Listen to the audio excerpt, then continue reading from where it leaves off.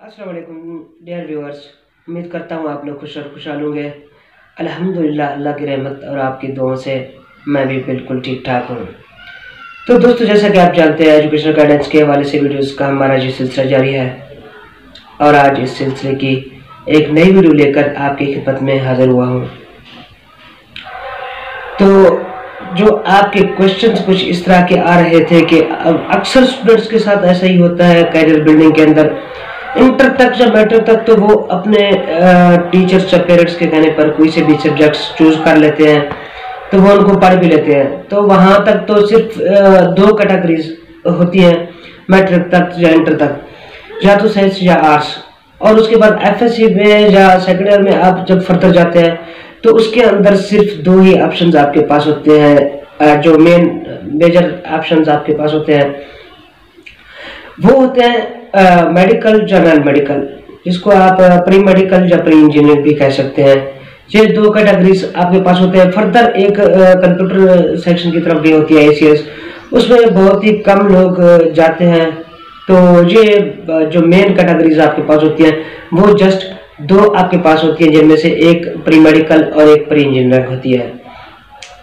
फिर होता क्या है? आगे आप जब जाते हैं फर्दर बैचलर आप कर लेते हैं तो वहाँ पर आपके, आपको जाके अगर फिर फर्दर बहुत ज़्यादा आपको जो है ना मुश्किल का सामना होता है कैटेगरीज फ़ील्ड आपने अपनी लाइफ के लिए चूज़ करनी होती है कि आप किस तरफ़ जाना चाह रहे हैं और कौन सी आपके लिए बेस्ट हो सकती है। तो इसलिए जो जब स्टूडेंट एक बीए के अंदर आता है वो मेंटली इतना मैच्योर नहीं होता कि उसको नहीं पता होता कि किस चीज़ का क्या स्कोप है और उसको क्या करना चाहिए और वो किस कैटेगरी में फॉल करता है ताकि वो नेक्स्ट जाके अब समझे कि कामयाब हो सके। तो उसके लिए स्टूडेंट्स के अंदर कशमकश होती है और उनको इतना टाइम नहीं होता ना इतना समझ होती है उस टाइम के अंदर के रिसर्च करें, देखें और अपनी फ़ील्ड चूज़ कर लें। तो उसके लिए आज मैंने तमाम तर तफसीत जो है ना आपको साथ शेयर करने का फैसला किया है। तो इस पर एक ब्लाग मैंने कहा बना लिया जाए, ताकि जो हमारे नए स्टूडेंट्स आ रहे हैं तो उनको गाइडेंस मिल जाए, उनको पता चल जाए, उनके पास तमाम इंफॉर्मेशन पहुँच जाए कि उनको आगे क्या करना है और वो किस कैटेगरी में फॉल करते हैं। तो स्टूडेंट्स मैं आपके साथ ये तमाम तर मालूम इस ब्लाग में आज शेयर करने वाला हूँ। तो इससे पहले आप मेरे चैनल को सब्सक्राइब कर लें ताकि आपको एजुकेशनल गाइडेंस के हवाले से बहुत ही ज़बरदस्त किस्म की मालूम मिलती रहे। और इस तरह के बेशुमार वीडियो मेरे चैनल पर मौजूद हैं। आप वो भी जाके विज़िट कर सकते हैं। तो आइए दोस्तों, शुरू करते हैं। सबसे पहले तो बीए जब आप कर लेते हैं, या बीएससी कर लेते हैं, उसके बाद आपने चूज़ करना होता है कि आपने किस फ़ील्ड के अंदर जाना है। आप क्या करना चाहते हैं? तो उसके अंदर जो आप समझते हैं कि हाई लेवल तबका है मालदार है सरमाकार है तो वो तो बी बी ए की तरफ़ चले जाते हैं एम बी ए की तरफ़ चले जाते हैं बिज़नेस अपना वो उस कैटेगरी में फॉल करते हैं। तो वो कुछ भी कर लें, उनको इतनी की मुश्किल नहीं होने वाली।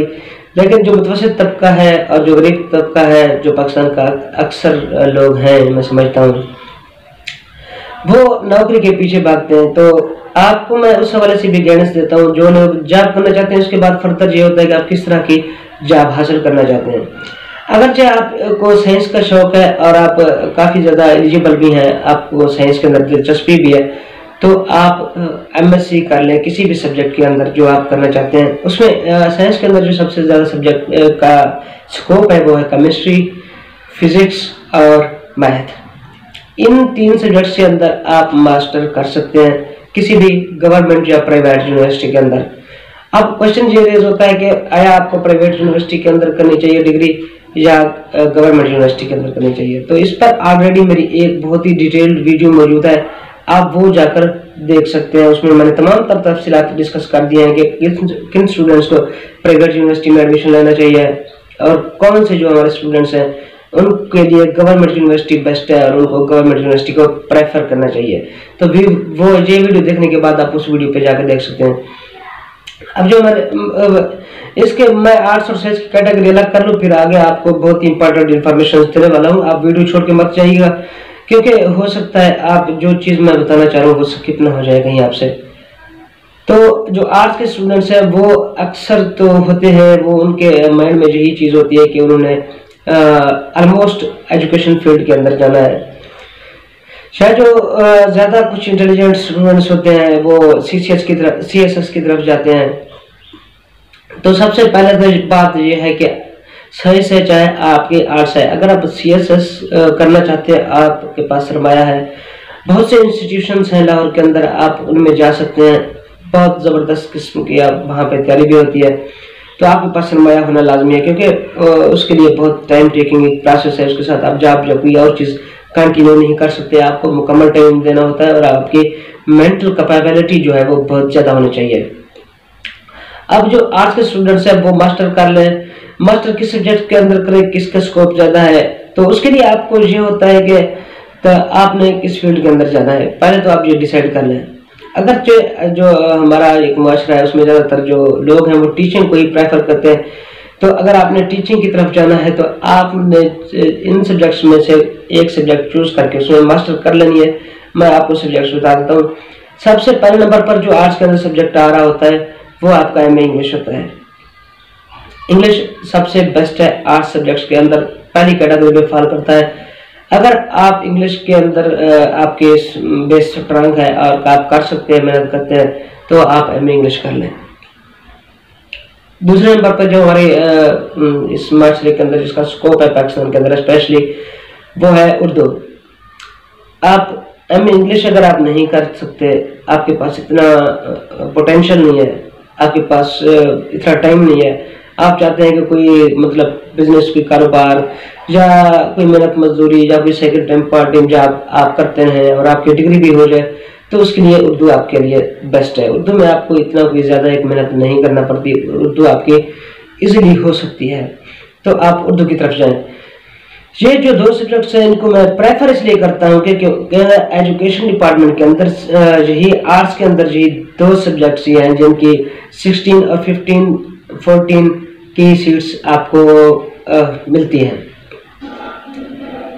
E S C arts E S C S C S C arts S S twenty arts जो एस एस टी था पहले अब एस एस ई हो गया आर्ट्स ये बतदरीज फोर्टीन फिफ्टीन और सिक्सटीन स्केल की एजुकेशन डिपार्टमेंट के अंदर सीट्स हैं। आप इन पर अप्लाई कर सकते हैं अगर आपकी एम ए इंग्लिश या एम ए उर्दू है। तो आर्ट्स के अंदर मैं आपको ये प्रेफर करूँगा कि आप इन सब्जेक्ट्स के अंदर करने बजाय किसी दूसरे सब्जेक्ट्स के अंदर। तो इन सब्जेक्ट्स के अंदर आप खराब करेंगे तो आप एजुकेशन फ़ील्ड के अंदर as a teacher as a headmaster आप काम कर सकेंगे। आपको अप्लाई करने की इजाज़त हो सकती है। अगर आप इस्लामियात कर लेते हैं तो इस्लामियात की जो करंट एज है, उसके अंदर इस्लामियात की जो 16 और 15 की जो सीट्स हैं, वो अभी तक नहीं आ रही स्कूल के अंदर, स्कूल एजुकेशन डिपार्टमेंट के अंदर, कोई पिछले दस एक सालों से। तो इसलिए बेहतर यही है कि आप इंग्लिश या उर्दू में से एक सब्जेक्ट चूज़ कर लें मास्टर जिसमें आपने करनी है, वो आप चूज़ कर लें। तो वो आपके लिए बेस्ट हो सकता है।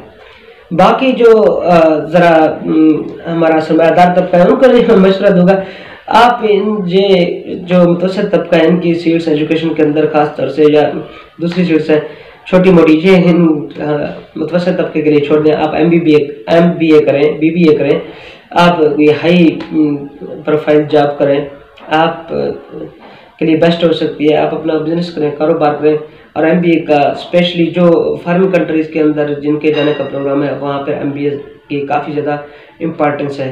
तो ये चीज़ें हैं जो आप कर सकते हैं। मैं उम्मीद ये कर रहा हूँ कि आपको मेरी वीडियोस इस सिलसिले में तमाम तर चीज़ें समझ आ गई होंगी। अगर आपको समझ नहीं आई तो नीचे रेड कलर में सब्सक्राइब रेड कलर में लिखा हुआ आ रहा है, उसको क्लिक कर दें। सब्सक्राइब करके चैनल को नीचे आप कमेंट बॉक्स में आ जाएँ। आपका जो भी क्वेश्चन है, वो आप पोस्ट करें। मैं इंशाल्लाह आपको वहाँ पर जवाब देने की कोशिश करूँगा। अगर क्वेश्चन आपका ऐसा होगा कि मुझे वीडियो बनानी पड़ेगी तो मैं आपको वीडियो के अंदर तमाम तर तफसीत जो है, वो आपको फ्राहम कर दूँगा। तो दोस्तों, उम्मीद करता हूँ आपने मेरा चैनल सब्सक्राइब कर लिया होगा। तो मुझे फ़िलहाल इस वीडियो से दीजिए इजाज़त। इन नेक्स्ट किसी वीडियो में